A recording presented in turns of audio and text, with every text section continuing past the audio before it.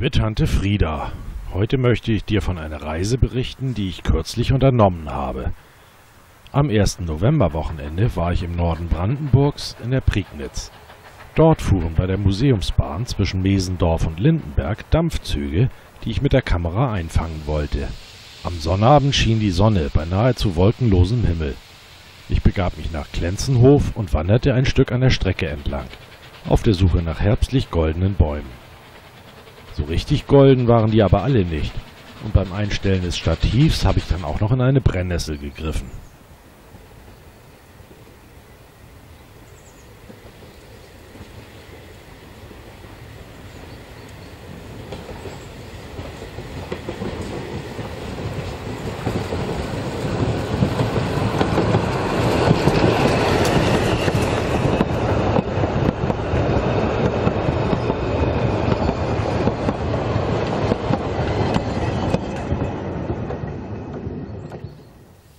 Anschließend machte ich mich auf nach Lindenberg, um den Zug dort am Teich zu erwarten.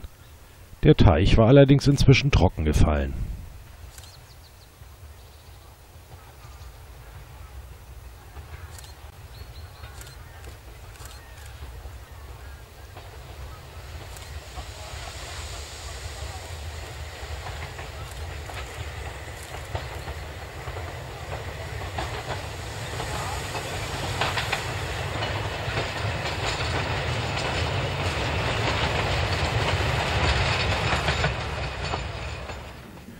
Einiger Zeit fuhr der Zug dann zurück.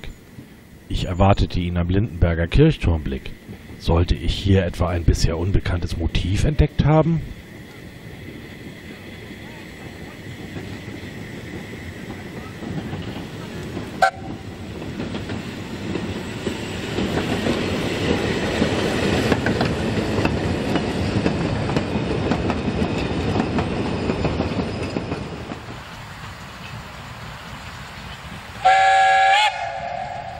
Mittagszeit steht die Sonne fast überall ungünstig.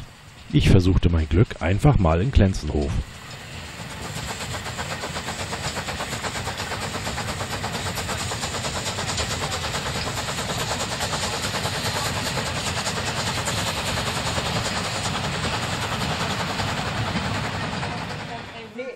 In Mesendorf stand eine Diesellok recht malerisch vor den Güterwagen, die am Vortag noch mit einem Fotozug unterwegs waren.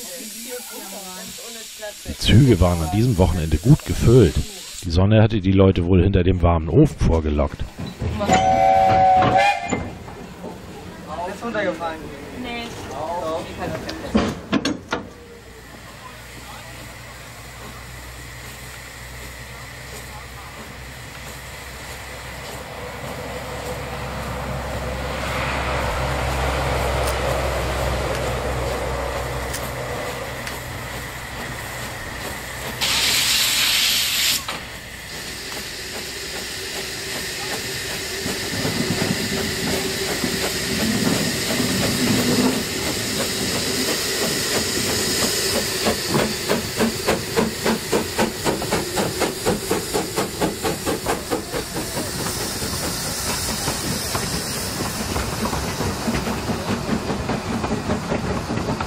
Dass die Fotografen sich stets bemühen, auch noch den letzten störenden Zweig aus ihrem Motiv zu entfernen, nehme ich eher mit Erheiterung zur Kenntnis.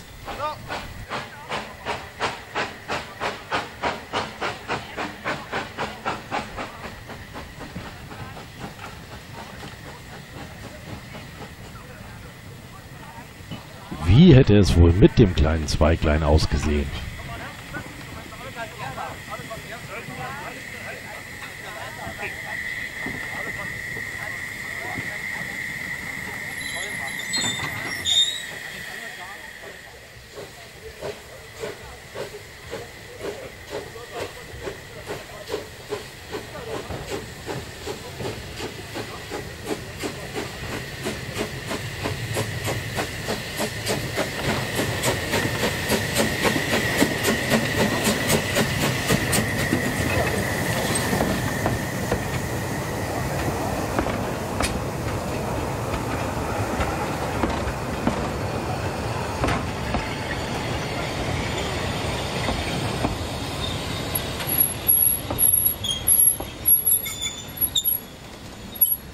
Auch ein durchgeknallter Zweiradler, der am Tüchener Weg unbedingt kurz vor Durchfahrt des Zuges über den Acker brettern musste, konnte mich nicht übermäßig aus der Ruhe bringen.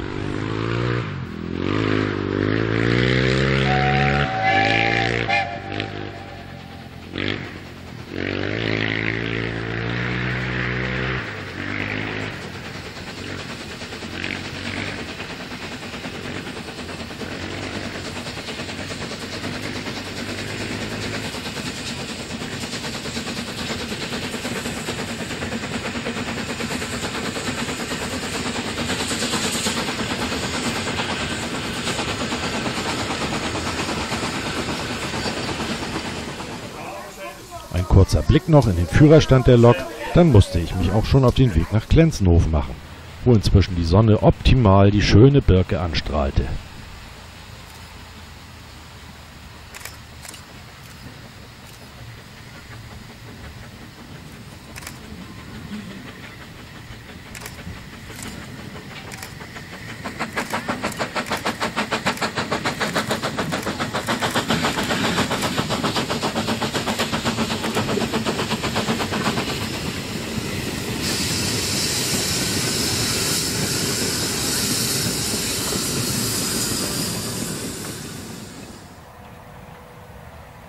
Als der Zug in Lindenberg eintraf, stand die Sonne schon mächtig tief und tauchte alles in ein gelblich-rotes Licht.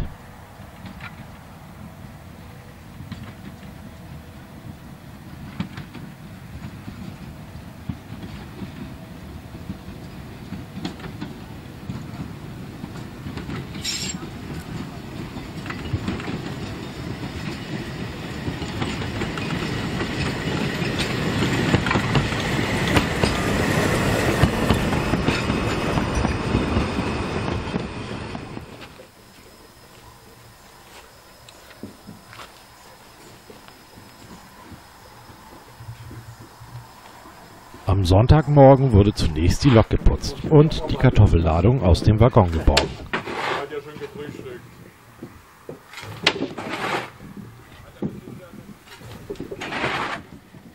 Für mich ging es direkt nach Brünkendorf, wo man um diese Zeit schon ein munteres Spiel von Licht und Schatten vorfindet.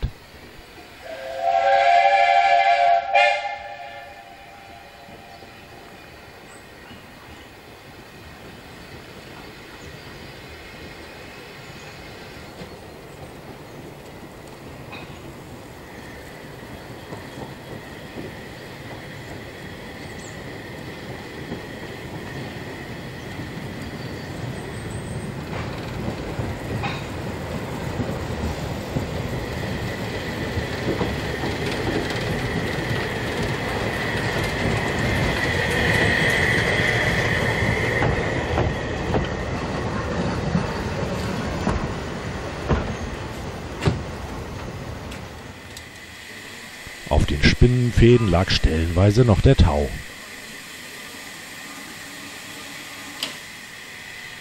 Ganz mutig platzierte ich auch eine zweite Kamera zwischen den Gleisen, über die der Zug nun rollen würde.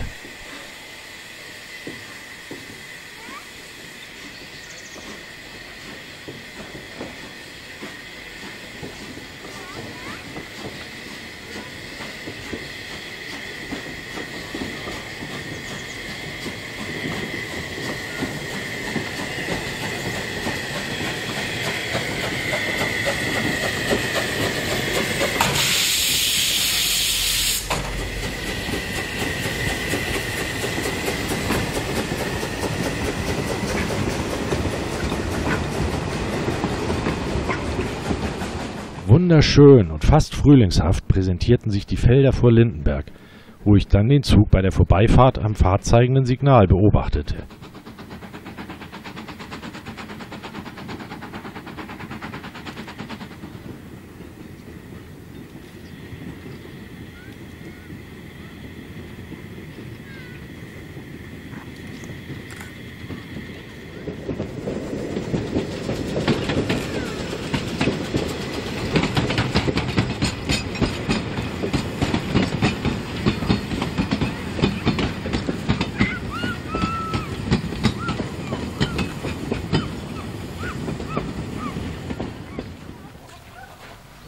Los war auf dem Bahnsteig, da die meisten Fahrgäste die 50 Minuten Aufenthalt genutzt haben, um das Kleinbahnmuseum zu besuchen.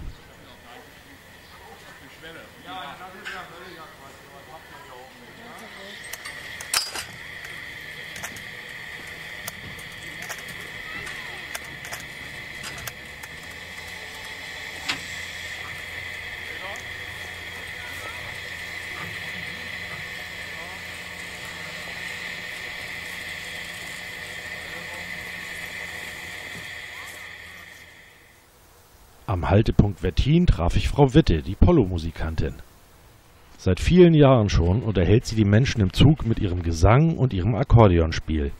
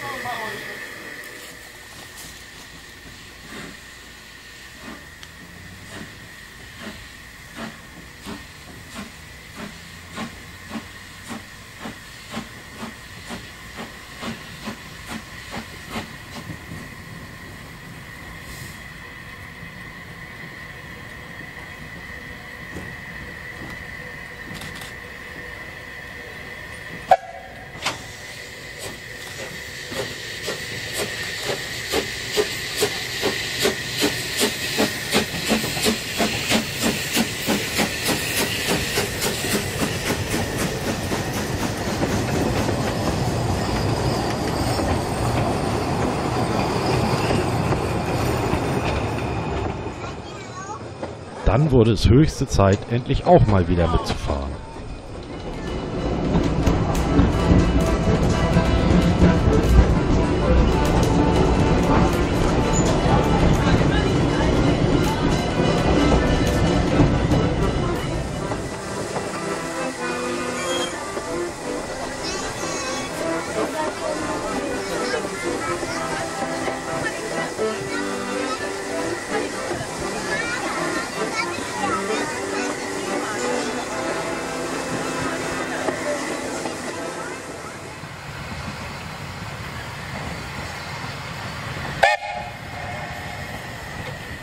Klenzenhof verabschiedete ich mich dann für dieses Jahr vom Polo. Auf Wiedersehen!